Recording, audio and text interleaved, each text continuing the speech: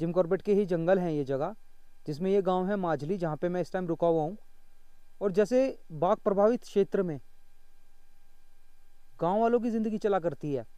उसी ज़िंदगी को मैं भी महसूस कर रहा हूँ